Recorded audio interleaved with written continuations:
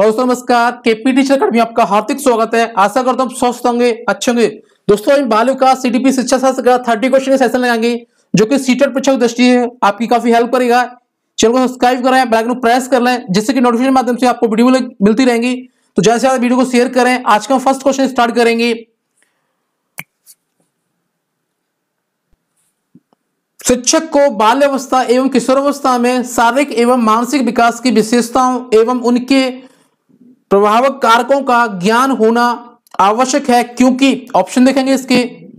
उसे बालकों की कमियों का ज्ञान हो जाता है ए के अकॉर्डिंग बी ए अधिगम सरल हो जाता है सी ए वह छात्रों में जिज्ञासा उत्पन्न कर सकता है डी ए वह अपने इस ज्ञान को प्रेरक के रूप में प्रयुक्त कर सकता है।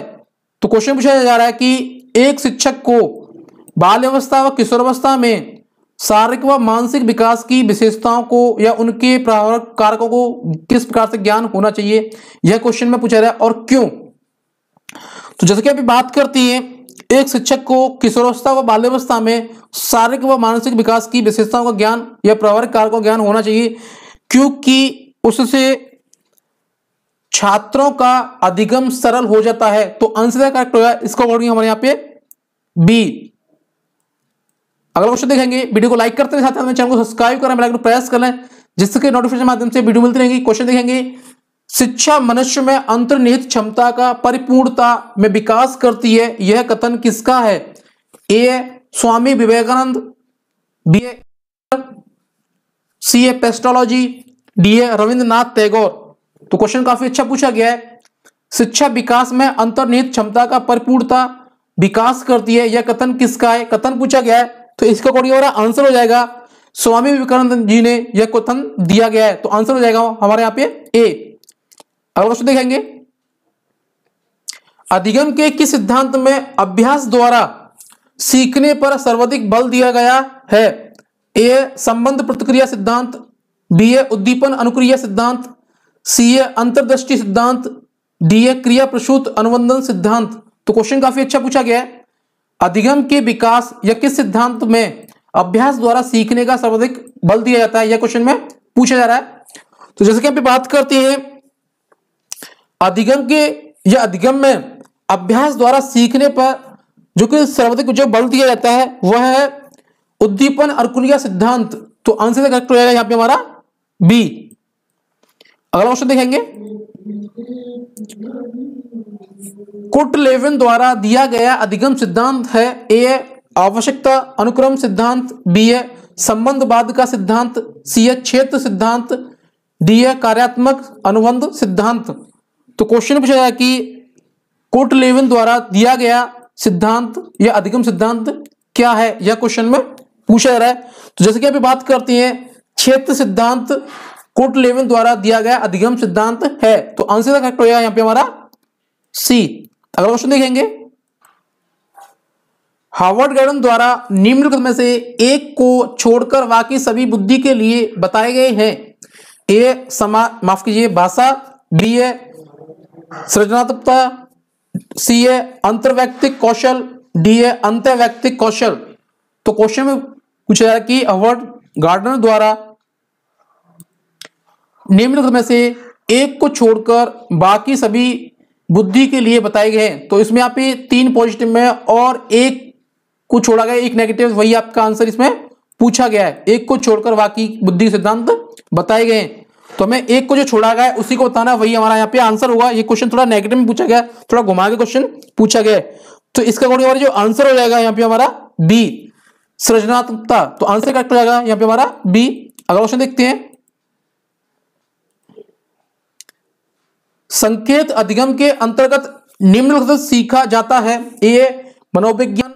बी ए पारस्परिक अनुकूलन। सी ए वातावरण। डी ए मनोदेहिक। तो क्वेश्चन पूछा कि संकेत अधिगम के अंतर्गत निम्नलिखित सीखा जाता है। यह क्वेश्चन पूछा है, किसके अंतर्गत सीखा जाता है? यह क्वेश्चन में पूछा जा रहा है। तो जैसे कि बात करती है पारंपरिक अनुकूलन के द्वारा सीखा जाता है। तो आंसर करेक्ट रहेगा यहाँ पे हमारा बी पारंपरिक अनुकूलन। तो अगला क्वेश्चन देखेंगे। मूल्यांकन का उद्देश्य है ए बच्चों को उत्तीर्ण व अनुत्तीर्ण घोषित करना। बी है बच्चा क्या सीखा है जाना। सी है बच्चे के सीखने में आई कठिनाइयों को जानना। डी है उपयुक्त सभी। तो क्वेश्चन काफ़ी अच्छा पूछा गया है। क्वेश्चन पूछा कि मूल्यांकन का उद्देश्य क्या है? यह क्वेश्चन में पूछा जा रहा है। तो जैसे कि हम बात करते हैं मूल्यांकन का उद्देश्य होता है बच्चों को उत्तीर्ण व अनुत्तीर्ण घोषित करना भी होता है, और बच्चे ने क्या सीखा, या किस प्रकार से सीखा, या किस प्रकार से जाना, यह भी मूल्यांकन का उद्देश्य होता है। बच्चे के सीखने में आई कठिनाई को भी जांचना मूल्यांकन का उद्देश्य होता है। तो इसका अकॉर्डिंग हमारा आंसर करेक्ट हो जाएगा उपयुक्त तो सभी तो आंसर हो जाएगा यहाँ पे हमारा डी अगला क्वेश्चन देखेंगे। बालक में संप्रत्य होते हैं ए व्यक्तिगत बी ए श्रेणीबद्ध सी ए अप्रवासित एवं सामान्य से विशिष्टीकरण की ओर डीए उपयुक्त सभी। तो क्वेश्चन काफ़ी अच्छा पूछा गया है। क्वेश्चन पूछा कि बालक में संप्रत्य किस प्रकार से होती है या कैसे होती है क्वेश्चन में? पूछा जा रहा है, जैसे हम बात करते हैं, बालक में व्यक्तिगत, श्रेणीबद्ध अप्रवासित एवं सामान्य से विशिष्ट की ओर होते हैं तो इसका हमारा आंसर करेक्ट हो जाएगा उपयुक्त सभी। तो डी आंसर हो जाएगा, यहाँ पे हमारा अगला क्वेश्चन देखेंगे, वीडियो को लाइक करते हैं, साथ में चैनल को सब्सक्राइब करें बेल को प्रेस कर लें जैसे कि नोटिफिकेशन माध्यम से आपको वीडियो मिलती रहेंगी। क्वेश्चन देखेंगे निम्नलिखित में से या निम्नलिखित में सृजनशीलता का प्रमुख तत्व क्या नहीं है?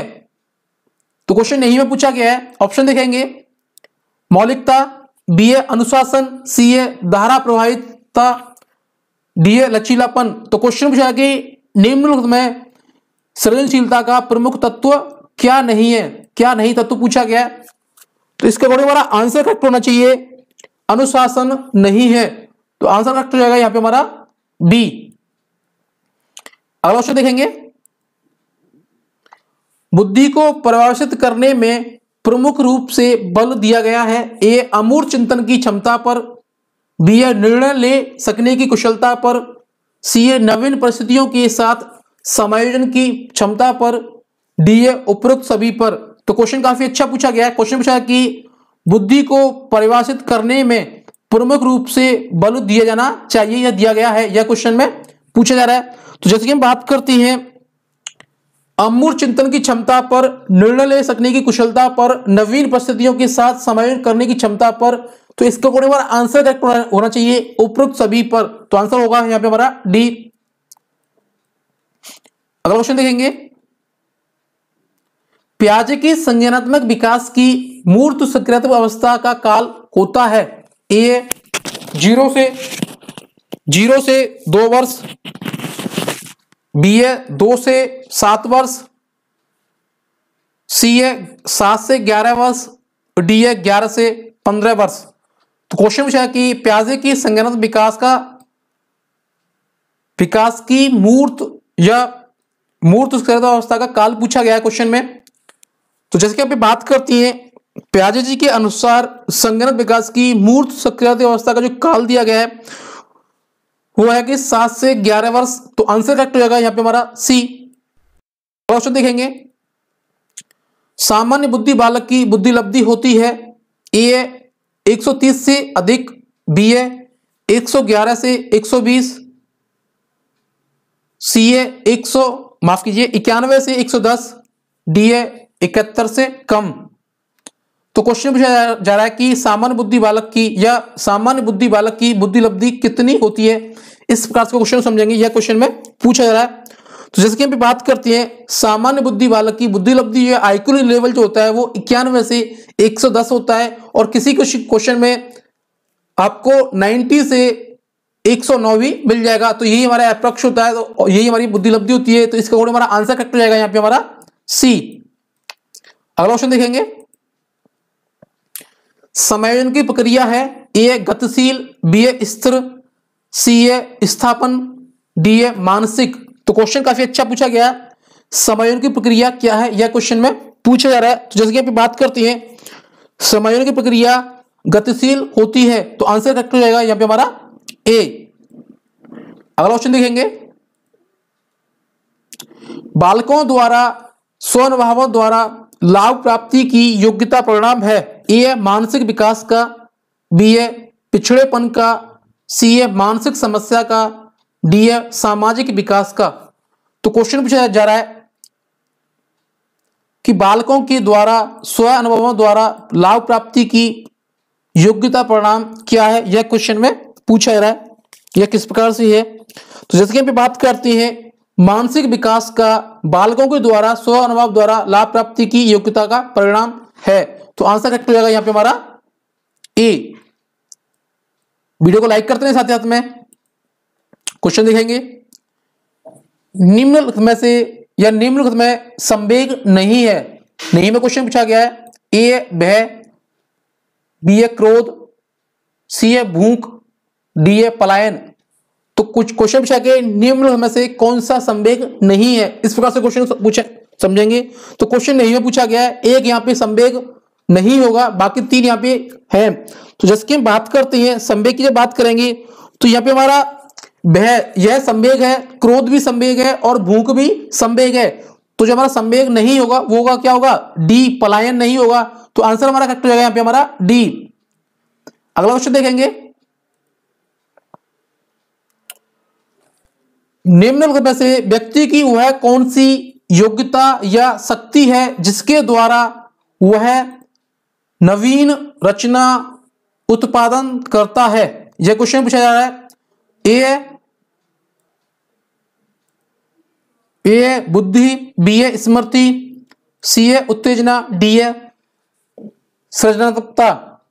तो क्वेश्चन पूछा जा रहा है कि निम्नलिखित में से कौन सी या निम्नलिखित में से व्यक्ति की वह कौन सी योग्यता या शक्ति है जिसके द्वारा वह नवीन रचना व उत्पादन करता है? यह क्वेश्चन में पूछा जा रहा है। तो नवीन रचना व उत्पादन की बात की जा रही है। तो जैसे कि अभी बात करते हैं, यहाँ के इसका अकॉर्डिंग हमारा आंसर होना चाहिए। सृजनात्मकता का या सृजनात्मकता के कारण ही व्यक्ति की या व्यक्ति के द्वारा नवीन रचना व उत्पादन किया जाता है। तो आंसर करेक्ट होगा यहाँ पे हमारा डी अगला क्वेश्चन देखेंगे। समाजीकरण व व्यक्तिकरण एक ही प्रक्रिया के दो पहलू है, यह कथन है। D A Dewey B A Rousseau C A MacIver D A Thorndike तो क्वेश्चन में कथन पूछा गया है, समाजीकरण व व्यक्तिकरण एक ही प्रक्रिया है कि दो पहलू हैं, यह कथन किसके द्वारा कहा गया या दिया गया यह क्वेश्चन में पूछा जा रहा है। तो इसका अकॉर्डिंग बात करते हैं मैकाइवर के द्वारा यह कथन दिया गया है तो आंसर करेक्ट रहेगा यहाँ पे हमारा सी अगला क्वेश्चन देखेंगे। मनोलैंगिक विकास का मनोवैज्ञानिक सिद्धांत किसने दिया है? ए प्याजे B A fried C A चौमस की डी ए इरेक्शन। तो क्वेश्चन काफ़ी अच्छा पूछा गया है। क्वेश्चन पूछा जा रहा है कि मनोलैंगिक विकास का मनोवैज्ञानिक सिद्धांत किसने दिया है? यह क्वेश्चन में पूछा जा रहा है। तो इसके अकॉर्डिंग हमारा करेक्ट आंसर होना चाहिए। फ्राइड के द्वारा मनोलैंगिक विकास का मनोवैज्ञानिक दिया गया है तो आंसर करेक्ट हो जाएगा यहाँ पे हमारा बी अगला क्वेश्चन देखेंगे। विद्यालय वातावरण में निम्नलिखित में से किसका बुद्धि पर सबसे अधिक प्रभाव पड़ता है? ए अनुशासन बी ए पाठ्यक्रम सी ए पाठ्यक्रमेतर क्रियाएँ डी ए वंशानुक्रम। तो क्वेश्चन काफ़ी अच्छा पूछा गया है। क्वेश्चन पूछा जा रहा है कि विद्यालय वातावरण में निम्नलिखित में से किसका बुद्धि पर सबसे अधिक प्रभाव पड़ता है? यह क्वेश्चन में पूछा जा रहा है। तो जैसे कि अभी बात करते हैं, सबसे अधिक प्रभाव जो पड़ता है वह है पाठ्यक्रम का। तो आंसर हमारा करेक्ट होना चाहिए हमारा बी अगला क्वेश्चन देखेंगे। वीडियो को लाइक करते हैं साथ साथ में चैनल को सब्सक्राइब करें, बेल आइकन प्रेस कर जिससे कि नोटिफिकेशन माध्यम से आपको वीडियो मिलती रहेंगी। और वीडियो को ज़्यादा ज़्यादा शेयर करें, जिससे कि जो भी स्टूडेंट सीटेट परीक्षा की तैयारी कर रहे हैं, उनके लिए वीडियो काफ़ी हेल्पफुल साबित हो। तो क्वेश्चन देखेंगे छात्रों को नवीन पाठ्य वस्तुओं सीखने से पहले आप क्या करेंगे? ए सीखने के नियम बताएँगे। बी नवीन उदाहरण देंगे। सी छात्रों के पूर्व ज्ञान स्तर को पहचानेंगे। डी नवीन विधियों का प्रयोग करेंगे।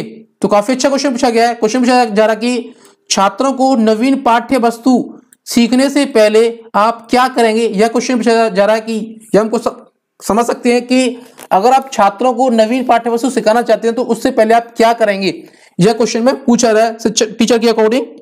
तो जैसे कि हम बात करते हैं, अगर आप टीचर हैं तो आपको पहले छात्रों के पूर्व ज्ञान का स्तर को पहचानेंगे, तब हम पाठ्य या नवीन पाठ्य वस्तु सिखाने से पहले यह क्रिया करेंगे। तो आंसर का करेक्ट हो जाएगा यहाँ पे हमारा? सी अगला क्वेश्चन देखेंगे।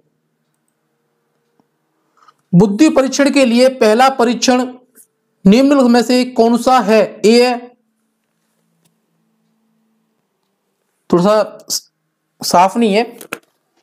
Terman Merrill scale, Terman Stanford revision B दिया गया है। सी ए बिने साइमन परीक्षण, डी ए वट लंदन, माफ़ कीजिए हाँ लंदन रिवीजन, यही है। एक बार और देखेंगे। ए दिया है Terman Merrill scale, B A Terman Stanford revision, C A Binet Simon परीक्षण, डी ए वट लंदन रिवीजन। तो क्वेश्चन थोड़ा सा अच्छा पूछा गया है। क्वेश्चन एक बार और समझेंगे बुद्धि परीक्षण के लिए पहला परीक्षण निम्न में से कौन सा है? यह क्वेश्चन में पूछा गया है। यह क्वेश्चन को इस बार समझेंगे कि बुद्धि परीक्षण जो किया गया था, उसमें से कौन सा सबसे पहले परीक्षण किया गया था? यह पूछा जा रहा है। जिसके पे बात करती है, जो पहला परीक्षण किया गया था, वो विनय साइमन परीक्षण के द्वारा किया गया तो इसके हमारा आंसर जो होना चाहिए, वो करेक्ट हो जाएगा। सी विनय साइमन परीक्षण। अगला क्वेश्चन देखेंगे। प्याजे के बौद्धिक विकास के पूर्व संप्रत्यात्मक चरण की अवधि क्या है? ए, जन्म से दो वर्ष तक, बी, ए, दो से चार वर्ष तक, सी, ए, चार से सात वर्ष, डी, ए, सात वर्ष से बारह वर्ष। तो क्वेश्चन पूछा जा रहा है कि प्याजे के बौद्धिक विकास के पूर्व संप्रत्यात्मक चरण की अवधि क्या है? यह क्वेश्चन में पूछा जा रहा है। तो जैसे कि हम बात करते हैं प्याजे के भौतिक विकास के पूर्व सप्रत्यात्मक की जो अवधि है, या चरण की जो अवधि कहलाती है, वह है दो वर्ष से चार वर्ष। तो आंसर हमारा करेक्ट हो जाएगा बी दो वर्ष से चार वर्ष। अगला क्वेश्चन देखेंगे। वीडियो को लाइक करते हैं, साथ ही चैनल को सब्सक्राइब कर लें। क्वेश्चन देखेंगे, मूल्यांकन का मुख्य प्रयोजन क्या है? ये छात्रों की व्यक्ति की पहचान करना। बी, अधिगम प्रक्रिया की प्रभावशीलता को बढ़ावा देना सीए समाज में हो रहे दंगों को कम करना डी उपयुक्त सभी। तो क्वेश्चन पूछा जा रहा कि छात्रों का मुख्य प्रयोजन क्या है? यह क्वेश्चन में पूछा जा रहा है। तो जिसकी भी बात करती है, अधिगम प्रक्रिया की प्रभावशीलता को बढ़ावा देना मूल्यांकन का मुख्य प्रयोजन है। तो आंसर हमारा करेक्ट हो जाएगा यहाँ पे हमारा बी अगला क्वेश्चन देखेंगे। बालक की किस अवस्था में मानसिक विकास बहुत तीव्रता से होता है? ए, बाल्यावस्था, बी, ए, किशोरावस्था, सी, ए, शैशवावस्था, डी, ए, युवावस्था। तो जैसे क्वेश्चन पूछा गया कि बालक की किस अवस्था में मानसिक विकास बहुत तीव्रता से होता है? यह क्वेश्चन में पूछा जा रहा है। कि बात करते हैं, जो मानसिक विकास होता है, वो काफ़ी तीव्रता से होता है, जो कि बाल्यावस्था में तो आंसर में जाएगा? ए, बाल्यावस्था। अगला क्वेश्चन देखेंगे। वीडियो को शेयर करते ना जा बालक सर्वप्रथम कौन सी क्रिया सीखता है? ए भाव प्रदर्शन, बी ए पढ़ना, सी ए चलना, डी ए लिखना। तो क्वेश्चन पूछा जा रहा है कि बालक सर्वप्रथम कौन सी क्रिया सीखता है? यह क्वेश्चन में पूछा रहा है। तो जैसे भी बात करती है, बालक जो सर्वप्रथम क्रिया सीखता है, वो भाव प्रदर्शन करना सीखता है। तो आंसर करेक्ट हो जाएगा यहाँ पे हमारा ए अगला क्वेश्चन देखेंगे। प्रत्यक्ष शिक्षा व्यवहार में किसे सम्मिलित नहीं किया जाएगा? ए व्याख्यान देना बी ए निर्देश देना सी ए आलोचना करना डी ए पार्षिक नियोजन करना। तो क्वेश्चन पूछा जा, जा रहा है कि प्रत्यक्ष शिक्षा व्यवहार में किसे शामिल नहीं किया जाएगा? क्वेश्चन नेगेटिव में पूछा गया है और इसके अकॉर्डिंग हमें आंसर देना है। तीन पॉजिटिव में आंसर होंगे और एक नेगेटिव होगा तो वही हमारा ऑप्शन के अकॉर्डिंग नेगेटिव में आंसर हो जाएगा। तो जैसे कि हम बात करते हैं प्रत्यक्ष शिक्षा व्यवहार में जो शामिल नहीं किया जाना चाहिए वह है हमारा वार्षिक योजना या नियोजन करना। तो आंसर करेक्ट हो जाएगा यहाँ पे हमारा डी अगला क्वेश्चन देखेंगे। सहायक सामग्री के प्रयोग से विषय ए रोचक बन जाता है बी ए ज्ञान स्थायी होता है सी ए सरल बन जाता है डी ए उपयुक्त सभी बातें। जैसे क्वेश्चन जा रहा है कि सहायक सामग्री के प्रयोग से विषय जो कि सरल बन जाता है तो आंसर हमारा करेक्ट हो जाएगा। अगला क्वेश्चन देखेंगे। कक्षा कक्ष प्रक्रियाओं में कैसा विवरण, माफ़ कीजिए, वातावरण विद्यार्थियों की निष्पत्तियों को उच्च स्तर पर प्रोत्साहित करता है? ए है एक तंत्रीय वातावरण, बी है अनुशासनात्मक निर्भर वातावरण, सी है समाजवादी वातावरण, डी है लोकतांत्रिक वातावरण। तो क्वेश्चन काफ़ी अच्छा पूछा गया। क्वेश्चन पूछा जा रहा है कि कक्षा कक्ष प्रक्रियाओं में कैसा वातावरण विद्यार्थियों की निष्पत्ति को उच्च स्तर पर प्रोत्साहित करता है? यह क्वेश्चन में पूछा जा रहा है। तो जैसे कि हम बात करते हैं, लोकतांत्रिक वातावरण है जो कि कक्षा कक्ष प्रक्रिया में विद्यार्थियों की निष्पत्ति को उच्च स्तर पर प्रोत्साहित करता है। तो आंसर करेक्ट होगा यहाँ पे हमारा डी अगला ऑप्शन देखेंगे। किस चिंतन में व्यक्ति की किसी घटना, तथ्य अथवा वस्तु की सच्चाई स्वीकार करने से पहले उसके गुण दोष की परख कर लेता है। ए. सृजनात्मक चिंतन, बी. ए. आलोचनात्मक चिंतन, सी. ए. स्वालीन चिंतन, डी. ए. अविसारी चिंतन। तो क्वेश्चन पूछा जा रहा है कि किस चिंतन में व्यक्ति किसी घटना, तथ्य अथवा वस्तु की सच्चाई स्वीकार करने से पहले उसके गुण दोष की परख कर लेता है। यह क्वेश्चन में पूछा जा रहा है चिंतन के बारे में। तो जैसे कि बात करते हैं, आलोचनात्मक चिंतन है, जो कि व्यक्ति की घटना, तथ्य अथवा वस्तु की सच्चाई स्वीकार करने से पहले उसके गुण दोष है, जो कि परख लेता है। तो आंसर हमारा करेक्ट होगा यहाँ पे हमारा बी अगला देखेंगे। विद्यालय में विद्यार्थियों को कैसे अभिप्रेत करना उचित है? ए चुने गए अध्ययन द्वारा बी ए प्रासंगिक अध्ययन द्वारा सी ए गहन अध्ययन द्वारा डी ए सस्वर अधिगम द्वारा। तो क्वेश्चन काफ़ी अच्छा पूछा गया है। क्वेश्चन पूछा जा रहा कि विद्यालय में विद्यार्थियों को कैसे अभिप्रेत करना चाहिए? यह करना उचित है। यह क्वेश्चन में पूछा जा रहा है। तो जैसे कि हम बात करते हैं कि सस्वर अधिगम द्वारा विद्यालय में विद्यार्थियों को प्रेरित या अभिप्रेरित करना चाहिए। तो आंसर हमारा करेक्ट हो जाएगा। यहाँ पे हमारा डी तो दोस्तों सेशन हमारा यहीं पे समाप्त होता है। वीडियो को जैसा शेयर करें चैनल को सब्सक्राइब करें ब्लैक को प्रेस कर लें, जिससे कि नोटिफिकेशन माध्यम से आपको वीडियो मिलती रहेंगी। तो मिलते हैं नेक्स्ट सत्र में नेक्स्ट वीडियो में। जैन दोस्तों बंदे मातरम।